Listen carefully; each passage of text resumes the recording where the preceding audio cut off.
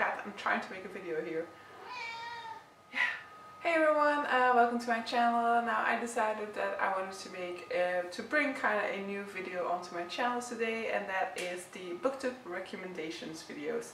So basically what I'll be doing is I'll be giving you a overview of the booktube videos for the month of June that I really enjoyed and that I want to kind of spread the love for and uh, have other people become aware of and maybe give a go, uh, maybe have them uh, discover a new channel or at least uh, have them discover a video that they will really enjoy. Um, so I kind of came up with this idea because uh, I like watching booktube a lot and um, you get the recommendations from YouTube for other booktube videos based on what you've been watching but like um, there are probably some hidden gems that you might not discover unless you've uh, you're actively like um, subscribed to a certain channel and even then you know there's I'm subscribed to so many channels that I don't get to see every single video. So uh, I just thought you know if more people were to follow my example for example we can get certain booktube videos uh, more views and like spread love for certain booktuber or certain booktube videos. Now disclaimer for this as I've said already I don't watch every single booktube video out there. I'm subscribed to a host of people, but I'm not subscribed to every single booktuber. Uh, probably there's more booktubers that are not subscribed to than booktubers that I am subscribed to. Uh, I don't watch every single video of every single booktuber because otherwise I would never get around to making booktube videos at all, or, or reading for that matter. So um, basically this is really a selection based off of what I've seen uh, for the month of June and one of those videos that I want to especially highlight. This doesn't mean that any of the other videos that I saw weren't good or weren't uh, entertaining or anything like that. These are just like the standouts, the one that I thought were very original or just super funny or anything like that. So um, I'll be getting into it. Um, I want to make this a monthly deal. I'm not going to like get to 10 every month for example. I think I got to 10 for the month of June for example. But it will totally depend of course on the amount of booktube that I'm watching. For example in the month of July I haven't watched too much booktube because I've been totally engrossed in uh, watching gymnastics uh, this month. So I haven't watched too much booktube so I think the list for the month of July will be a lot shorter for example. So definitely feel free if you're inspired by this video to do exactly the same thing, uh, no worries there, or uh, to go down into the comments section and kind of uh, recommend a video that you've really enjoyed in the month of June or already for the month of July, give me some inspiration for my next video, no worries. So definitely feel free to spread the booktube joy even more.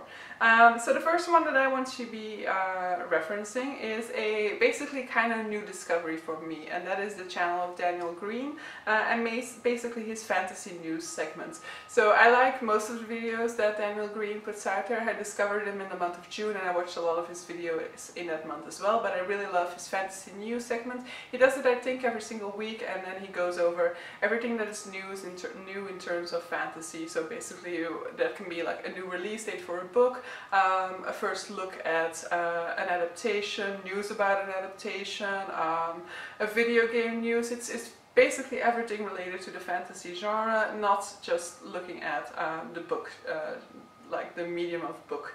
Um, and I really, really uh, enjoyed his. I'm linking the one that talked about uh, Stormlight Archive book 4 for example in which he gave uh, kind of spread the update from Brandon Sanderson uh, about where he is in his writing process.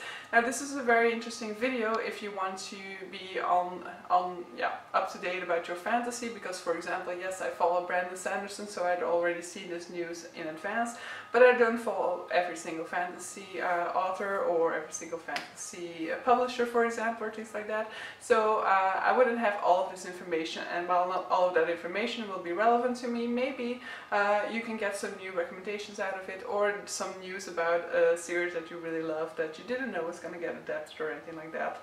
So I think his fantasy news segment is wonderful. He also does some very insightful reviews. Uh, he does reviews a, a, lot, so yeah, if you haven't read the books, these might not always be uh, as interesting as, uh, as I thought they were. So the second one is very much a like a low-key recommendation. This is a video uh, of, Regan from Peruse Project. Uh, it's basically her June favorites and the reason why I'm putting it out there is just for a very short segment in that video in which she uses the air quotations in like a very relatable way when she's talking about fitness. So uh, yeah, just wanted to shout out to that little segment in her video uh, and so for people to enjoy and to relate as well. So the third video that I want to give a shout out to is uh, Eric Karl Anderson's The Secret Story Behind Mrs. Dalloway. Um, I've been wanting to get into Virginia Woolf for a very long time and this video definitely got me excited to do so. Um, so in this story, in this video, Eric Carl um, he gives us a very interesting and original uh, introduction to his video and he kind of takes us into the world of uh, Mrs. Dalloway. Well, he gives a very insightful rendering of uh, Mrs. Dalloway, introduces a very interesting um, edition and gives us, he shows us a bit of um, what is inside that edition, which I found to be very interesting. But he also takes us on a tour of like London and the places that uh, feature in Mrs. Dalloway. And so I really love this video as a kind of way to uh, spread the love for Mrs. Dalloway or get more people interested in reading Mrs. Dalloway. Next up is a video by Jean from Jean's Bookish Thoughts and that is uh, Harry Potter and the Classics. Now Jean is a classicist and so uh, she has a very widespread knowledge of uh, classic literature and classical uh, elements and things like that and so she has done a sort of series on um, like the way her classic uh, classical literature or elements from classical literature are featured in the Harry Potter books and this video from the month of June was about the Goblet of Fire and uh, I find that very interesting. I think uh, it's something, uh, it's a very new take on uh, videos about the Harry Potter genre. You don't see too many videos that go in depth in certain of the background elements of a Harry Potter story for example and thought this was a very uh, well done video in which she kind of takes you to through the elements from classical literature featured in this book, going from, for example, certain monsters and things like that, which is definitely good in uh, a video about Goblet of Fire because a lot of monsters are uh, featured in there. Uh, so, for example, the Sphinx that uh, features in the maze is also featured in her um, discussion of Harry Potter and classic literature.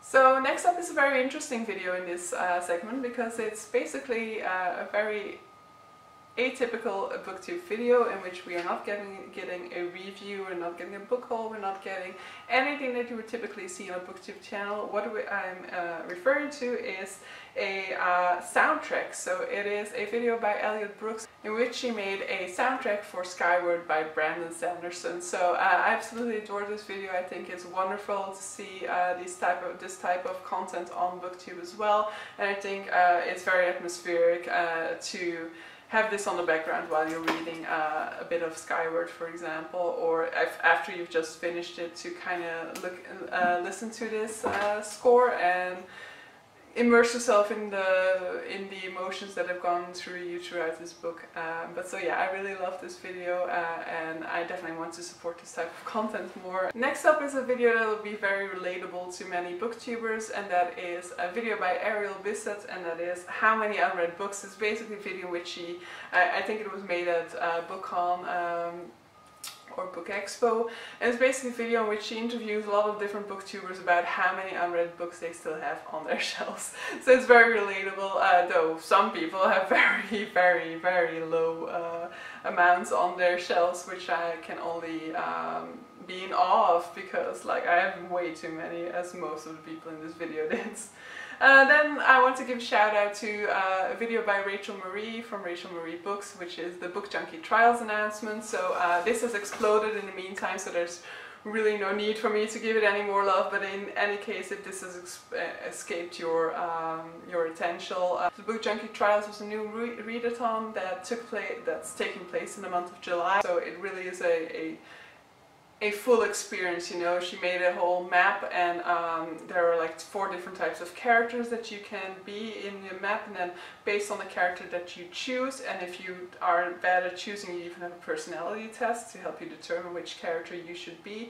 Based on which character you choose to be there are certain uh, there's a certain roadmap that you need to follow in case you want to uh, find the Holy Grail and then there are also certain like uh, disabilities or advantages related to every single character. There's also a higher quest in which you can read even more and um, that can give you advantages for when advantage, advantages for when you uh, participate in the uh, second edition of this uh, readathon and things like that. So it's really been great and I'm absolutely uh, yeah, I'm absolutely happy to hear that uh, her readathon has been having so much success. I've seen it everywhere on BookTube, so it has indeed really skyrocketed, and that's just normal considering how wonderful uh, this readathon was put together.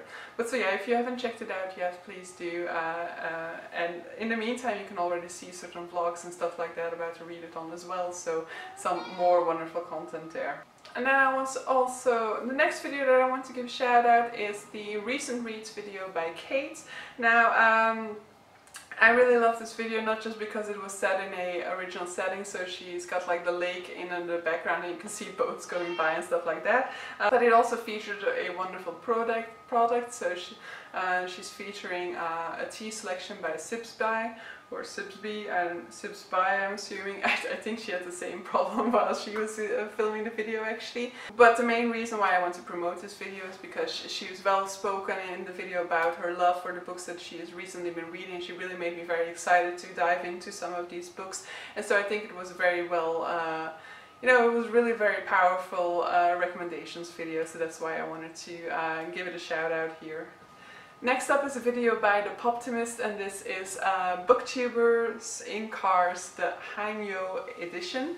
Uh, so in this one he's kind of making fun of booktubers who uh, do, do booktube recommendations or who uh, do uh, shots of them driving while uh, discussing books uh, in their like weekly vlogs or stuff like that and he is doing a whole discussion video about a book that he's recently read in the car. Not only is it great of him to kind of uh, point out this uh, trend in booktube at the moment but he also does a wonderful job of, re of uh, reviewing a book while driving. I mean kudos on him, it seems like he's reading a script or anything like that but it's definitely not possible while you're driving a car so I absolutely loved it. I also totally loved his discussion of the book at the same time because he gives a lot of um, detailed history about the uh, sort of content that is uh, featured in the book and um, while at the same time diving into the story as well. So I really enjoyed this video a lot. But so I definitely love this video so do uh, check it out. And so the finally, final video that I chose is the Truth About BookCon by Chandler. I really loved this video, I thought it was very well balanced of her experience at BookCon and then a discussion of uh, is BookCon worth it or not. Uh, I thought it was very nicely done. Uh, no, I think it was a very well balanced video. It was um, it wasn't judgmental or anything like that. It was just stating uh, the way that she had experienced it and the way that she um, um, and know her thoughts on whether BookCon is worth it or um, her kind of like advice for will it be worth it for you or not um, like kind of pointing out certain things that you need to take into account when deciding on uh, whether you think the expenses for BookCon are worth it or not. Um, so I thought it was like there were multiple videos like this at that uh, around at the same time and I didn't see all of them um, because basically I've not gone to BookCon and since I'm from Europe I find it to be way too expensive for me but so uh, so I didn't have too much interest in all of these videos but I watched Chandler's video about it uh, and I really thought that she um, did a great job at uh, kind of discussing the different aspects to take into account when deciding on BookCon, uh, on going to BookCon or not. But so yeah, uh, these are the videos that I will be, uh, that I've chosen for the month of June. There are definitely a lot of other videos that I absolutely enjoyed. There are definitely a lot of small moments in other videos that I also enjoyed. I'm, tr I'm trying to, I would try to like have a mix of like videos that are um, that I'm including because of you know the overall experience of the overall uh, idea behind the, the video uh, with videos in which I found like small moments to be uh, like standout moments or to be super relatable or anything like that. So I would like to get a, a big mix of things in any case. Um, but so as I said in the in the beginning of this video do you point out any videos that I might have missed or that might have popped up in the month of July that you want me to that you want me to consider for the month of July uh, in the comments down below. Uh, and that way I can uh, give them a go in case I haven't already and maybe include them in my next video. But so um, please give this video a thumbs up if you liked it. Uh, a huge shout out to all, all, the booktubers that I mentioned in here. All the, the in the description I will have all the links to the videos down below as well as the links to their channel overall. If you like this video please give it a thumbs up, it will help me out a lot. Uh, I don't have a fixed filming schedule so I film whenever and I post whenever. I'm sorry, please deal with it. Bye.